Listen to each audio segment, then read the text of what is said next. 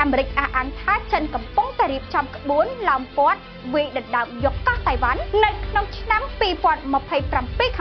នាយករងភ្នាក់ងារស៊ើបការសម្ងាត់ CIA សហរដ្ឋអាមេរិកលោក David Cohen បាននិយាយថាប្រធានាធិបតីចិនលោកស៊ីជីនពីងចង់ឲ្យយោធារបស់លោកមានសមត្ថភាពដណ្ដើមយកកោះតៃវ៉ាន់នៅឆ្នាំ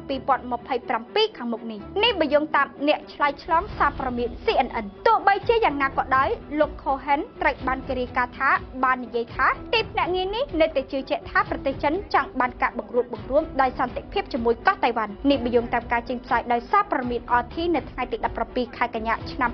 2022សេចក្តីថ្លែងការណ៍របស់លោក Cohen ត្រូវបានរាយការណ៍ដោយកាសែត CNN ដោយបានលើកឡើងថាលោកស៊ីមិនបានរៀបចំសម្រាប់ការលុកលុយជាក់លាក់ណាមួយទៅលើកោះតៃវ៉ាន់នោះទេប៉ុន្តែចង់បានសមត្ថភាពគ្រប់គ្រងតៃវ៉ាន់ដោយកម្លាំងកាសែតខាងលើបានដកស្រង់សម្ដីនាយករង CIA ថាលោកមិនបានសម្រេចចិត្តធ្វើរឿងនេះនោះទេប៉ុន្តែលោកបានស្នើឲ្យយោធារបស់លោកដាក់នៅក្នុងកន្លែងមួយ ដែលប្រសិនបើនោះគឺជាអ្វីដែលលោកចង់ធ្វើលោកនឹងធ្វើវាឲ្យបានវានៅតែជាការវិតម្លៃរបស់សហគមន៍ស៊ើបការទាំងមូលដែលចំណាប់អារម្មណ៍របស់លោកស៊ីចំពោះតៃវ៉ាន់គឺដើម្បីទទួលបានការគ្រប់គ្រងតាមរយៈមធ្យោបាយមិនមែនយោធាគួរជំរាបផងដែរថាទីក្រុងប៉េកាំងបាននិយាយជាសាធារណៈថាខ្លួនមានបំណងបង្រួបបង្រួមតៃវ៉ាន់ជាមួយចិត្តដីគោកដោយសន្តិវិធីហើយនៅក្នុងក្រដាសសដែលបានបោះពុំកាលពីខែសីហាកន្លងទៅរដ្ឋាភិបាលចិនបានបញ្ជាក់ពីការបដិញ្ញាចិត្តនេះចំពោះមធ្យោបាយមិនមែនយោធាប៉ុន្តែរក្សាបានជំរឿសនៃវិធានការចាប់បាច់ទាំងអស់យ៉ាងណាមិញតៃវ៉ាន់បានច្រានចោលវិធីសាស្ត្រប្រទេសមួយប្រព័ន្ធពីរដែលមានចែងនៅក្នុងសៀវភៅសដោយទីក្រុងតៃប៉េបានបញ្ជាក់ថាមានតែប្រជាជនតៃវ៉ាន់តែប៉ុណ្ណោះដែលនឹងសម្រេចអនាគតរបស់ពួកគេគួរបញ្ជាក់ថាភាពតានតឹងនៅច្រកសមុទ្រតៃវ៉ាន់បានឈានដល់ចំណុចក្តៅកាលពីខែសីហាបន្ទាប់ពីដំណើរទស្សនកិច្ចទៅកាន់ទីក្រុងតៃប៉េដោយប្រធានសហភាអាមេរិកលោកស្រី Nancy Pelosi ជាមួយនឹងលោកស្រី Pelosi ជាសមាជិកនៃគណៈបក នយោបាយរបស់ប្រធានាធិបតីអាមេរិក Joe Biden និងជាលើកទី2នៅក្នុងជួរប្រធានាធិបតីនៃការស្នើតំណែងនោះប្រទេសចិនបានចាត់ទុកដំណើរទស្សនកិច្ចនេះថាជាការយល់ព្រមយ៉ាងច្បាស់លាស់នៃឯករាជ្យភាពរបស់តៃវ៉ាន់ហើយបានឆ្លើយតបដោយការបើកសម្ពយុទ្ធយោធាទ្រង់ទ្រីធំនៅជុំត្រូវបានលោកប្រធានាធិបតី Volodymyr Zelensky បង្ហាប់ឲ្យដឹងអំឡុងបទថ្លែងការណ៍កាលពីយប់ថ្ងៃពហុម្សិលមិញនេះតាមការបញ្ជាក់ពីមន្ត្រីប៉ូលីសនៅក្នុងតំបន់បានឲ្យដឹងបន្តថានៅក្នុងចំណោមសាកសពទាំងនោះគឺមួយចំនួនជាអ្នកស្លាប់ដោយសារតែគ្រាប់ផ្លោងនិងការទម្លាក់គ្រាប់បែកដោយរុស្ស៊ីយ៉ាងណាមិញក្រោយប្រទះឃើញរូបភាពដ៏គួរឲ្យអាណត្តិអាធមនេះលោក Volodymyr Zelensky បានលើកឡើងថានីតិវិធីដ៏ចាំបាច់បំផុតនៅពេលនេះគឺបានរៀបចំធ្វើហើយហើយព័ត៌មានបន្ថែមលម្អិតនិងទុកចិត្តបាននោះនឹងត្រូវបានកោះកកាយឲ្យដឹងនៅពេលឆាប់ៗនេះហើយ។ លោក Volodymyr Zelensky បានធ្វើការរៀបរាប់អំពីអ្វីលោកបានឃើញអំឡុងពេលដែលលោកបានចុះទៅដល់នៅក្នុងតំបន់អាស៊ីយ៉ាំដោយផ្ទាល់បន្ទាប់ពីទង់ជាតិរបស់អ៊ុយក្រែនត្រូវបានបង្ហូរឡើងវិញដែលបញ្ជាក់ឲ្យឃើញថាតំបន់ត្រូវបានរំដោះពីដៃរបស់រុស្ស៊ីដោយឡែកបើតាមការបញ្ជាក់ពីក្រុមអ្នកកសែតដែលបានទៅដល់តំបន់ខាងលើដែរនោះបានឲ្យដឹងថា ទីតាំងក្រុងពោពេញទៅដោយភ្នូសាកសពដែលមានដោតឈើមួយបន្ទះសម្រាប់ភ្នូនីមួយៗដើម្បីសម្គាល់ជាស្លាកពលឹងរបស់ពួកគេភ្នូខ្លះមានទំហំធំនិងថែមទាំងមានសរសេរបញ្ជាក់ថាមានសាកសពទាហានអ៊ុយក្រែន17នាក់ក្នុងនោះផងដែរយ៉ាងណាមិញនៅពេលដើរទៅត្រួតពិនិត្យភ្នូសាកសពទាំងនោះភ្នាក់ងារអង្កេតការអ៊ុយក្រែនក៏បានប្រើប្រាស់ឧបករណ៍ចាប់សញ្ញាដៃផងដែរដើម្បីជៀសវាងគ្រោះថ្នាក់ដោយសារតែការបង្កប់គ្រាប់មីននៅទីនោះ យ៉ាងណាក៏ដោយប្រធានមន្ត្រីប៉ូលីសអ៊ុយក្រែននៅក្នុងតំបន់ហ្គាគីវបានសម្ដែងក្តីអាសូរយ៉ាងខ្លាំងដល់អ្នកស្លាប់ទាំងនោះហើយបានលើកឡើងថាវាជាផ្នូសាកសពធំបំផុតមួយនៅក្នុងតំបន់នៅទីក្រុងដែលខ្លួនបានរំដោះបានហើយបញ្ជាក់ថាទីតាំងទាំងនោះមានសាកសពរហូតដល់ជាង400សាកសពឯណោះ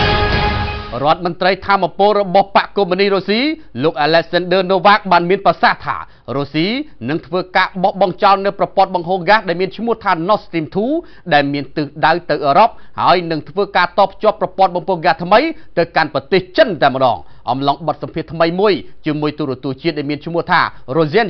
1អ្នកកសែតបានសួរថាតើរុស្ស៊ីនឹងបោះបង់បំពង់បង្ហូរហ្គាស Nord Stream 2ទៅកាន់អឺរ៉ុបហើយជំនួសវិញដោយបំពង់បង្ហូរហ្គាស Force Siberia 2ទៅតំបន់អាស៊ីឬក៏យ៉ាងណាលោករដ្ឋមន្ត្រីបានឆ្លើយតបវិញថាពិតប្រាកដណាស់មុនពេលដែលប្រមុខរដ្ឋាភិបាលរុស្ស៊ី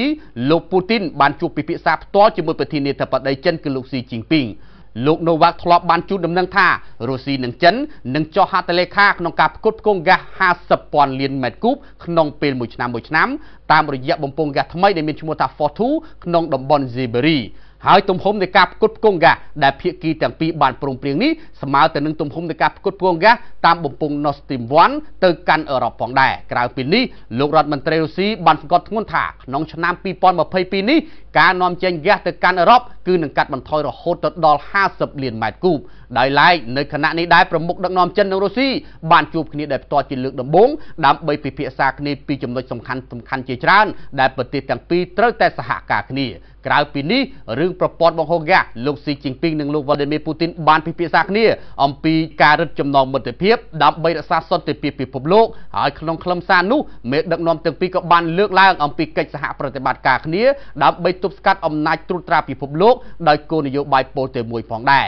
គួររំលឹកថាបន្ទាប់ពីទទួលបានដំណឹងនៃការរឹតបន្តឹងចំណងមិត្តភាពរវាងចិននិងរុស្ស៊ីអាមេរិកកាំងបានសម្ដែងការព្រួយបារម្ភយ៉ាងខ្លាំងយ៉ាងណាមិញអ្នកនាំពាក្យក្រសួងការបរទេសអាមេរិកកាំងលោក Ned Price បានមានប្រសាសន៍ថាការកសាងទំនាក់ទំនងរវាងប្រទេសទាំងពីរគឺគ្មានអ្វីគួរឲ្យភ្ញាក់ផ្អើលនោះឡើយប៉ុន្តែវាជារឿងគួរឲ្យព្រួយបារម្ភហើយមិនត្រឹមតែអាមេរិកទេពិភពលោកក៏គួរតែព្រួយបារម្ភដូចគ្នាជាចុងក្រោយលោកបានបង្ហាប់ឲ្យដឹងថា ព័ត៌មានដែលទទួលបានរុស្ស៊ីគឺមានបំណងរត់រោគជំនួយផ្នែកសន្តិសុខពីប្រទេសចិនហើយនៅពេលនេះស្ថានភាពកាន់តែវឹកវរហើយនៅលីបង់នៅប៉ុន្មានថ្ងៃចុងក្រោយនេះពលរដ្ឋលីបង់ប៉ុន្មានរូបបានសម្រុកចូលប្លន់ពន្ធនាគារប៉ុន្តែមិនមែនប្លន់លុយរបស់អ្នកដទៃនោះឡើយគឺពួកគេចូលទៀមទាដើម្បីយកលុយរបស់ពួកគេត្រឡប់មកវិញតែប៉ុណ្ណោះ យោងតាមព័ត៌មានទទួលបានដោយ Reuters បានឲ្យដឹងថាខណៈដែលស្ថានភាពសេដ្ឋកិច្ចនៅក្នុងប្រទេសលីបង់កំពុងតែធ្លាក់ចុះពលរដ្ឋស៊ីវិលបានព្យាយាមទម្លុះរបងនិងទ្វារកញ្ចក់ធនាគារដើម្បីដណ្ដើមយកលុយដែលពួកគេខំសន្សំបានមកវិញហេតុការប្លន់ធនាគារយ៉ាងកក្រឹកកក្រែងនេះគឺកើតមានឡើងកាន់តែញឹកញាប់នៅទូទាំងប្រទេសលីបង់ស្របពេលដែលតម្លៃរូបិយប័ណ្ណរបស់ប្រទេសនេះធ្លាក់ចុះរហូតដល់90% បើធៀបទៅនឹងរូបិយប័ណ្ណដុល្លាររបស់សហរដ្ឋអាមេរិកមិនតែប៉ុណ្ណោះអ្វីដែលធ្វើឲ្យប្រជាពលរដ្ឋកាន់តែមិនសប្បាយចិត្តរហូតហ៊ានធ្វើបែបនោះគឺបន្ទាប់ពីរដ្ឋាភិបាលរបស់លីបង់បានប្រកាសចេញច្បាប់ដោយដាក់ជាកំហិតចំពោះចំនួនទឹកប្រាក់ដែលពលរដ្ឋគ្រប់រូបអាចដកចេញពីធនាគារបាន ដោយឡែកហេតុការប្លន់ធនាគារយកប្រាក់ខ្លួនឯងមកវិញនេះគឺចាប់ផ្ដើមឡើងដំបូងដោយបរិសម្នាក់បានបង្ខំឲ្យធនាគារបញ្ចេញប្រាក់របស់ខ្លួនមកវិញដើម្បីយកទៅព្យាបាលជំងឺឪពុកដែលកំពុងតែឈឺធ្ងន់នៅអំឡុងពាក់កណ្ដាលខែសីហា រឿងថ្មីមួយទៀតនោះគឺនៅពេលថ្មីថ្មីនេះស្ត្រីម្នាក់បានកាន់កំភ្លើងខ្លីមួយដើមចូលធនាគារដោយបានភ្ជង់ប្លន់យកទឹកប្រាក់របស់គេមកវិញចំនួន13000ដុល្លារត្រឡប់មកវិញឲ្យបានសម្រេចយ៉ាងណាមិញចំពោះរឿងហេតុចុងក្រោយនេះដែរប៉ូលីសនៅក្នុងតំបន់បានកំណត់អត្តសញ្ញាណបានហើយស្ត្រីខាងលើមានឈ្មោះថា Zali Hafiz ហើយមូលហេតុដែលបង្ខំឲ្យនាងធ្វើយ៉ាងដូចនេះដោយសារតែរូបនាងត្រូវការប្រាក់យកទៅព្យាបាលប្អូនស្រីដែលកំពុងតែមានជំងឺមហារីក សូមរំលឹកថាធនាគារទូទាំងប្រទេសលីបង់ចាប់ផ្ដើមរៀបរៀងពលរដ្ឋមិនឲ្យដកលុយនៅក្នុងចំនួនច្រើនតាំងពី3ឆ្នាំមុនអំឡុងពេលដែលវិបត្តិហិរញ្ញវត្ថុបានផ្ទុះឡើងហើយបញ្ហានេះបានធ្វើឲ្យពលរដ្ឋលីបង់ភាគច្រើនមិនអាចបំពេញតម្រូវការប្រចាំថ្ងៃរបស់ខ្លួនរួមជាមួយនឹងការទូទាត់ថ្លៃមិន